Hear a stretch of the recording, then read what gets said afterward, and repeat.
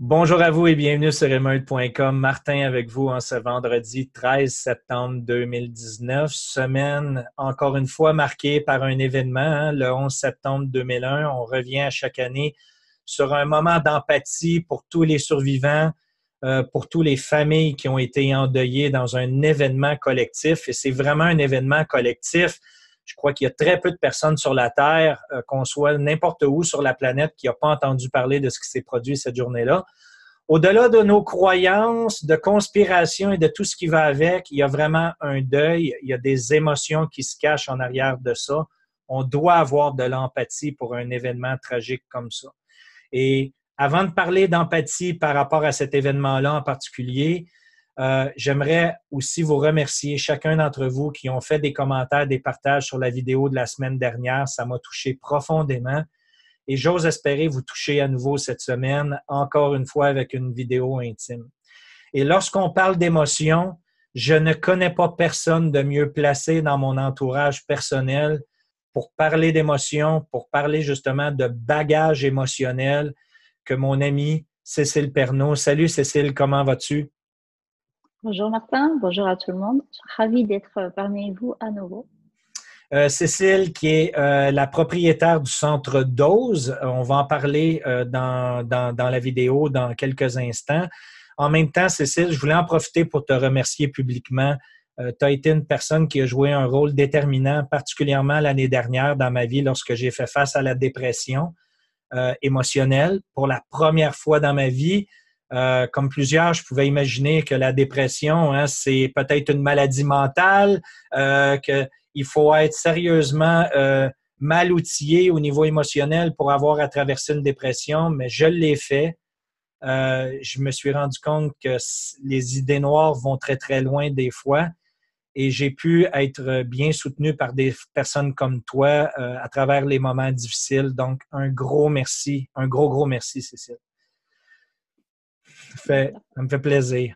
Euh, maintenant, donc, avant d'entamer le sujet du jour en bonne et due forme, j'aimerais qu'on revienne rapidement. Euh, quel est le bénéfice collectif? Parce que, bon, il faut retirer quand même des trucs positifs, des événements tragiques, que ce soit le décès d'un être cher, que ce soit un événement global, comme on a vu justement en septembre 2001.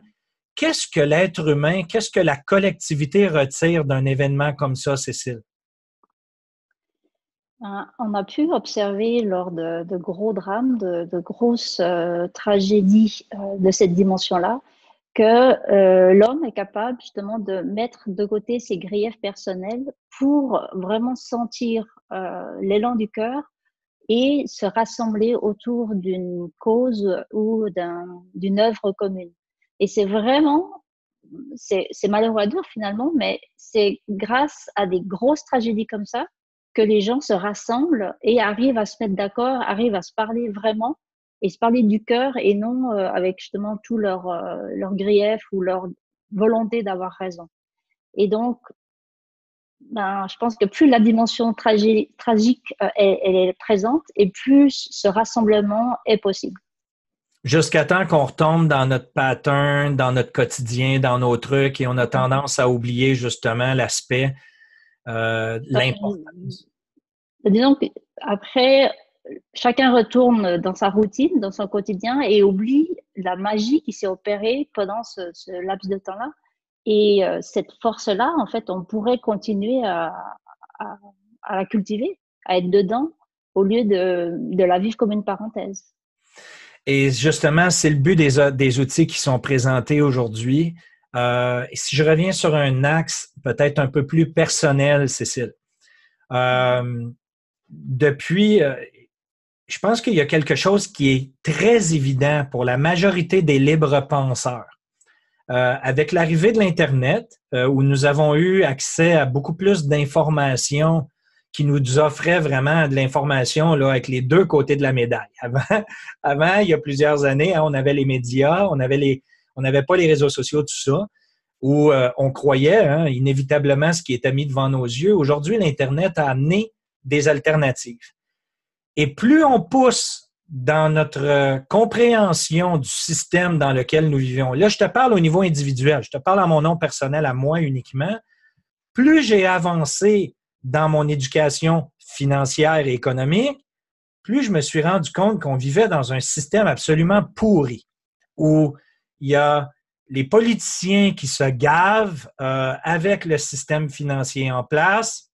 Il y a une infime partie de gens qui profitent de tout ça financièrement pendant qu'on appauvrit la grande quantité de gens sur la planète.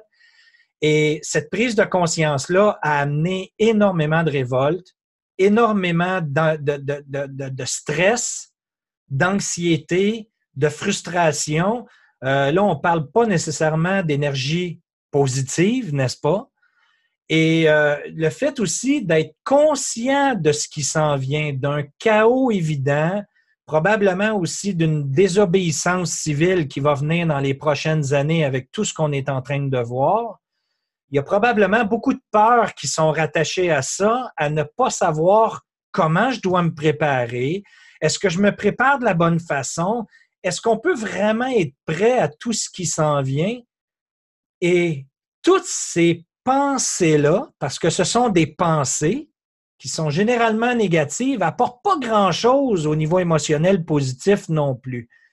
Qu'est-ce que tu as à proposer par rapport à ça? Quelle est ta première réflexion par rapport à comment je me sens aujourd'hui? La première chose que je vais te dire, Martin, c'est que la chose positive, si tu la cherches, c'est qu'effectivement, de nouveau, il faut que les gens vivent quelque chose de fort, de fortement révoltant, de fortement inacceptable, pour que ça génère chez eux un désir profond de changer. Sinon, ben, ils continuaient tant qu'ils avaient quand même leur zone de confort, leur zone de connu, etc. Ben, ils restaient dedans. Et tu vois bien que c'est le même mécanisme. Hein. C'est il faut quelque chose de très fort pour que ça réveille, ça révèle euh, quelque chose chez, chez l'individu. Et donc, toi, tu as eu euh, certains réveils, on va dire, à, différents moments, mais c'est ça qui t'a permis de dire stop et je veux autre chose. Je veux œuvrer pour autre chose. Et à partir de là, tu as cherché des gens qui étaient un peu dans la même dynamique et tu as tenté justement de faire des projets euh, communs pour œuvrer vers un changement. Mais il y, a eu un moment où tu as eu un ras-le-bol et tu as dit stop. Mais tant que tu n'avais pas assez marre, tant que tu n'as pas assez souffert, ben, tu continues quand même. Et euh, j'ai pas encore assez souffert. chacun peut répondre à ça, donc euh, je ne peux pas répondre pour, pour euh, tout le monde. Mais ce qui est sûr, c'est que voilà, ce gros ras-le-bol commun qui est en train de venir et qui, qui semble grossir hein, euh, de ce qu'on peut observer, c'est ça qui va amener euh, plus de conscience et ce désir justement de se rassembler autour d'une cause commune pour changer quelque chose. Pour moi, ce sera beaucoup plus euh, porteur, ce sera beaucoup plus euh, constructif de le faire euh, avec un élan du cœur et pas en voulant prouver qu'ils ont raison par rapport à d'autres. Parce que, comme tu l'as bien compris, il n'y a pas une seule réalité, il y a presque 8 milliards de réalités, donc presque autant de réalités qu'il y a d'individus sur cette terre. Donc, tant qu'on est dans la démarche, je veux avoir raison contre, par exemple, les politiciens, ils se retrouvent dans une autre guerre. Donc, pour moi, ils, sont toujours dans la roue du hamster. Là, c'est sentir ce qui est juste pour eux ou ce qu'ils ont envie de vivre, mais en partant de l'élan du cœur pour justement ben, rassembler des gens qui ont ce, même élan pour pouvoir aller dans une même direction. Mais je souligne l'importance que l'élan doit partir du cœur et non de, l'ego. Donc, euh, des pensées, euh, de, de penser d'avoir raison. Si on regarde dans le court terme, Cécile, OK? Euh, ce matin, je regarde les nouvelles économiques. J'ai Mario Draghi de la Banque centrale européenne qui vient ajouter une couche d'impression monétaire sur des dizaines de couches d'impression monétaire qui n'ont jamais fonctionné avant et qu'on ne fait qu'appuyer sur l'accélérateur pour aller encore plus vite dans le mur la première chose qui vient en moi, c'est encore une fois cette sensation-là de révolte. Je suis conscient qu'elle est là euh, et je veux m'en libérer rapidement. Euh, parce qu'encore une fois, elle est nocive dans, ma, dans ma croyance. Ça me donne rien de demeurer dans, cette, dans cet état négatif-là, alors qu'il va y avoir encore d'autres nouvelles au niveau économique. Je dois continuer de vivre et d'être heureux et d'être bien en moi, malgré toute la merde que les médias puis tout ce que les politiciens sont en train de me foutre dans la gueule. On se comprend. Donc, comment je peux travailler à court terme pour libérer rapidement cette émotion-là, en fait? OK. Alors, le corps se remet en équilibre tout seul. C'est-à-dire que le corps évacue ce qui a évacué euh, et la seule condition, c'est être dans le corps. Et comme tu l'as observé, spécialement quand tu étais euh, pas bien l'année passée, l'homme, il est tout le temps dans sa tête. Donc, ça veut dire qu'il est tout le temps dans ses pensées. Donc, on peut pas être dans sa tête, dans ses pensées, on va dire dans son mental et être dans le corps. Qui fait que ce que le corps sait naturellement faire et bien faire, eh ben, on, ne l'utilise pas de cette manière-là. Ce qui fait qu'on l'empêche, en fait, de libérer ce qu'il sait libérer parce qu'on est tout le temps dans notre tête. Donc la méthode que je propose euh, à travers justement les audios que j'ai publiés récemment, c'est que on va utiliser le corps pour ce qu'il sait naturellement et intelligemment faire. C'est-à-dire qu'on va aller dans le corps et on va rester dans le corps euh, suffisamment de temps pour le laisser faire ce qu'il sait naturellement faire et se remettre en équilibre, ce qu'on appelle euh, se remettre en homéostasie. Et, vraiment, c'est très simple, c'est rapide et c'est efficace. Ça dure en 2-3 minutes. Et euh, si vous voulez libérer une grosse casserole, quelque chose qui date par exemple de l'enfance, ça peut aller jusqu'à 10 minutes. Mais en général, pour les choses du quotidien ou les frustrations, comme tu viens de parler, c'est 2-3 minutes. Et la bonne chose, c'est que c'est définitivement libéré du moment que tu as été jusqu'au bout du processus. Donc, par exemple, ton habitude de lire par exemple, le journal le matin et puis euh, d'être frustré par rapport aux nouvelles que tu, tu vois, Bon, déjà, la première chose, c'est que tu peux aussi arrêter de lire le journal, mais si tu veux continuer à lire le journal, tu sens la frustration. Donc là, tu vas fermer ton journal, tu vas te poser, tu vas fermer les yeux, tu vas aller dans ton corps et tu vas laisser le corps faire ce qu'il sait faire, donc libérer, on va dire, cette frustration-là. Et quand tu as été jusqu'au bout du processus, cette frustration-là, vraiment, tu ne l'auras plus. C'est-à-dire que c'est pas, c'est plus quelque chose que tu vas avoir dans ton quotidien. C'est euh, ce que je trouve d'intéressant tout en étant très simpliste. Puis là, il y a probablement des gens, encore une fois, qui vont dire ah, mais ça, ça, ça c'est pas pour moi. Moi, j'ai pas besoin de ça. Euh, tout l'aspect spirituel, émotionnel, ça, c'est de la merde, puis j'y crois pas. Mais à la base, Cécile, puis faut comprendre aussi pourquoi ces blocages-là se présentent, n'est-ce pas? Hein? Des fois, de, de ne pas avoir la volonté de voir la vérité en pleine face ou d'avoir le courage de... Puis je pense pas que ce soit du courage, le mot est peut-être mal choisi, mais de regarder, de se regarder dans le miroir peut être difficile pour certaines personnes, dépendant de nos expériences. Mais où je veux en venir par rapport à tout ça aussi, c'est justement une image claire qu'on peut donner. Ce que tu présentes, en fait, c'est au niveau émotionnel, mais l'aspect physique du corps n'est pas différent. Lorsqu'on se coupe, il cicatrise, il cicatrise naturellement. Euh, lorsque on a la grippe ou le rhume ou quoi que ce soit, malgré tous les médicaments inimaginables qu'on peut prendre, le système des globules internes va faire qu'il va éliminer évidemment la source de problématique par lui-même. Et le reste, ben, c'est des croyances dans la tête. Et là, ce que tu proposes, en fait, c'est de dire, laissez le corps faire ce qu'il est censé faire d'une manière ou d'une autre, parce qu'il le fait déjà physiquement, mais il a aussi la capacité de le faire émotionnellement. Il a aussi la capacité de le faire du côté de repartir de la tête pour retourner au bon endroit, pour venir cicatriser l'émotion, en fait.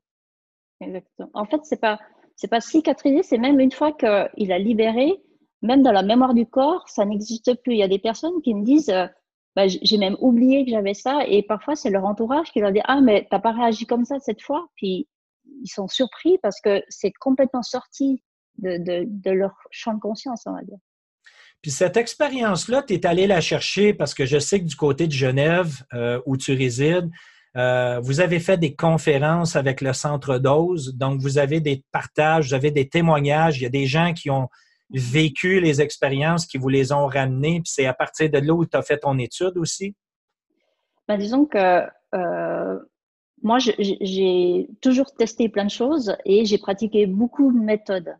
Et dans toutes les méthodes que j'ai euh, pu pratiquer ou tester, euh, j'ai toujours en fait cherché quelque chose de simple euh, et de rapide parce que j'avais cette conviction, et je pouvais pas l'expliquer, mais j'avais juste la, conviction intérieure que ça peut être plus simple. Et chaque fois, j'avais ça. Ça peut être plus simple. Et donc, finalement, quand je, suis euh, tombée sur cette méthode qui est basée sur euh, une méditation ancestrale qui est enseignée depuis des millénaires, donc c'est rien de nouveau. Hein. Et même la médecine dit, voilà, le, corps se remet en équilibre, donc ça remet en homéostasie. Donc c'est c'est quelque chose qui est scientifiquement, on va dire, validé. Et euh, on oublie à quel point justement euh, le corps est une machine fabuleuse, c'est un outil fabuleux et il fait plein de choses, et notamment aussi répondre euh, à des questions. Euh, Lorsqu'on se pose des questions, au lieu d'aller euh, demander à Pierre-Paul Jacques ou aller voir, je sais pas, des médiums, des médiums ou des extra-lucides, etc., on, on, pose la question, on écoute ce que le corps dit, et le corps, il ne ment jamais. Le corps, il est toujours maintenant, il ne ment jamais. Alors que si on, reste dans ses pensées, on reste dans son mental, ça peut nous emmener très très loin dans, dans des chemins complètement tordus. Le corps, lui, il est toujours là et il est toujours à notre service et on ne l'utilise pas. Et quand tu parles de pensée, euh, souvent aussi, hein, c'est des pensées qui vont très, très, très, très loin du côté obscur de la force. Et la grande majorité, une petite réflexion par rapport à Star Wars ici, mm-hmm. mais euh, c'est fou comment est-ce que le cerveau a la capacité d'aller dans les pires et dans les pires des scénarios. Et quoi, 90% peut-être 95% de ces scénarios-là ne se présentent même pas, mais en fait, il va t'envoyer des signaux puis des trucs, mais qui te autodétruisent. C'est de l'autodestruction, en fait, et c'est de combattre ça. C'est pas, c'est pas euh, inutile dans le sens que tout ce qui émerge, tout ce qui vient, tout ce qui se manifeste, c'est pour te montrer justement ce qu'il y a à libérer. Donc, si tu te rends compte que tu as ces idées euh, extrêmement noires et extrêmement destructrices, ben, tu vois, ça vient à ta conscience pour que tu dis, ah, ok, il y a ça. Donc maintenant, qu'est-ce que j'en fais? Je garde ou je libère? Et très souvent, la plupart des gens, ils vont remettre ça sous le tapis parce qu'ils sentent que c'est pas confortable, même c'est souffrant. Et puis, comme l'homme n'aime pas souffrir, au lieu de juste rester quelques minutes dans le corps pour évacuer ça, dès qu'ils sont en inconfort, il va mettre ça sous le tapis et hop, il va monter dans sa tête puis dire ça va aller, euh, c'est pas si grave, euh, c'est pas si douloureux, euh, je vais m'en sortir, euh, je peux y aller, etc. Donc le fait de mentaliser, ben on oublie tout ce qui se passe là et ça cumule, ça cumule, ça cumule jusqu'au jour où ça devient trop souffrant et là on est obligé d'aller voir. Et de nouveau, c'est toujours on, est on est obligé parce que c'est trop fort, c'est trop gros et on peut pas ne pas voir. Pourquoi, selon toi, la majorité euh, est beaucoup plus croyant par rapport aux produits pharmaceutiques, justement, pour apaiser la douleur émotionnelle que d'aller dans des processus spirituels qui ont déjà fait leurs preuves depuis des milliers d'années dans des milliers de peuples différents? Bon, il y a plusieurs euh, niveaux de réponse. euh, là, spontanément, ce que je dirais, c'est que euh, lorsqu'on utilise la chimie pour pour anesthésier ce qu'on ressent là, ben, ça marche très bien. À court terme, ça marche très bien. Donc, selon la dose qu'on va mettre, ben, on va plus rien sentir. Mais tôt tard, le corps va se manifester de manière à ce qu'on sente. Moi, j'ai des personnes, des clients, euh, ils prennent par exemple des antidépresseurs depuis 10, 15, 20 ans. Mais à force, le corps maintenant, en fait, arrive à tellement révéler les angoisses qu'ils ont cachées pendant tout ce temps que même la chimie, à forte dose, ne peut pas combattre. Donc, ce qui fait que ils prennent des antidépresseurs euh, à dose de cheval, mais ils, sentent toujours les angoisses. Donc. C'est euh, le principe de la drogue, hein? Puis c'est hilarant parce que, en fait, c'est l'image aussi qu'on utilise du système financier actuel, n'est-ce pas?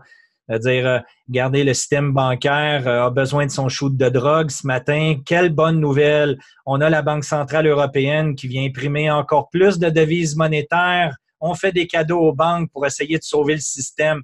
Fait que c'est le principe de l'héroïnomane. On lui a donné son shoot, il est heureux, mais il a besoin d'un shoot de plus en plus grand jusqu'à l'overdose.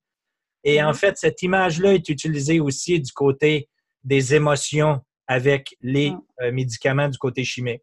Et en fait, on ne règle absolument rien. On n'a fait que repousser justement la souffrance physique. Mais d'un côté, euh, tu vois le réflexe des gens à râler les gens qui râlent beaucoup, qui râlent, qui râlent, qui râlent, ben, finalement, le processus est le même, c'est qu'ils vont râler toujours plus fort, toujours plus fort, toujours plus fort, jusqu'à ce qu'ils en aient marre de râler, puis ils disent, OK, ben, j'en ai marre de râler, j'ai assez râlé, maintenant, qu'est-ce que je peux faire d'autre? C'est pareil, en fait. Et il y en a qui râlent de plus en plus jusqu'à temps qu'ils crèvent. C'est hallucinant. aussi. que veux-tu? Écoute, Cécile, donc, tu as mis à disposition des gens des audios. Euh, où sont-ils disponibles? Je vais les mettre dans la description hein, parce que je peux probablement renvoyer les abonnés directement, puis aussi les gens qui regardent la vidéo d'aujourd'hui pour aller voir les produits qui sont disponibles parce que tu as, une série de vidéos, mais qui touchent des points spécifiques, si je comprends bien. Oui, alors j'ai, euh, ben, ils peuvent aller sur mon site, donc euh, centredose.com, sous la boutique audio. Et donc, euh, ces nouveaux audios que j'ai faits, euh, j'ai appelé ça méditation brève parce que justement, c'est basé sur cette méditation ancestrale. Et en fait, c'est des audios qui durent entre 7 euh, minutes, euh, à peu près en 7 et 10 minutes. Et j'ai fait trois sections. Donc, une première section, c'est pour libérer. Donc, c'est vraiment des, des audios où les, gens les écoutent et ils suivent euh, ce qu'il y a à faire et ils passent justement par le corps pour libérer les émotions. Euh, après, j'ai fait une section comprenez. Ça veut dire que là, c'est pour comprendre euh, les mécanismes justement et les outils. Donc, pour arrêter de subir euh, l'ego, le mental, euh, bah, comment ça fonctionne, identifier comment ça fonctionne pour pouvoir justement les utiliser à leur avantage plutôt que de les subir jusqu'à comme comme c'est jusqu'à présent. J'explique également ce que ça signifie vraiment être maintenant. Euh, et c'est vraiment la clé pour sortir justement du mental et, sortir des souffrances qu'on s'impose à soi-même.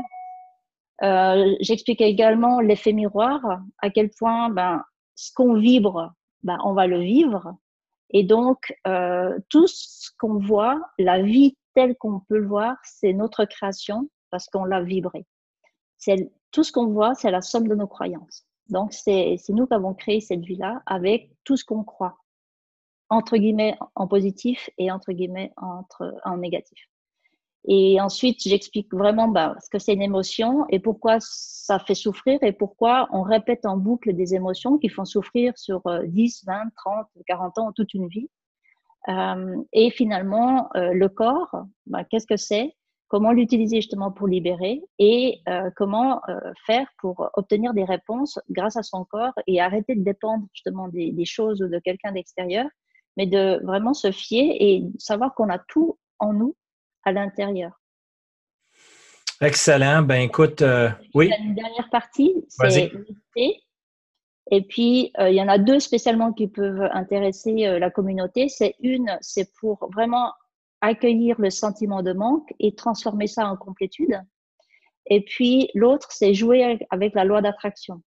Beaucoup de gens, je pense, ont déjà entendu parler de la loi d'attraction, faire des commandes à l'univers et tout ça. Mais tant que la commande, elle part de l'ego, donc ça veut dire quand même des manques euh, du personnage, euh, j'aimerais ça et ça, mais c'est toujours lié à l'ego, donc on, ça part de la tête. C'est pour ça que ça ne fonctionne pas.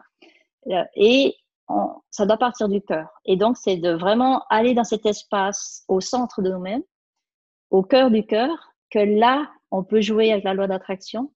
Et parce que lorsqu'on est au cœur du cœur, c'est là où on est euh, dans ce champ de toutes les possibilités. Et là, on peut accéder, on peut jouer au scénario qu'on veut, mais c'est à cette condition-là. Si ça part de l'ego, ça ne fonctionnera pas. Voilà. Donc, c'est euh, libérer, comprenez et méditer.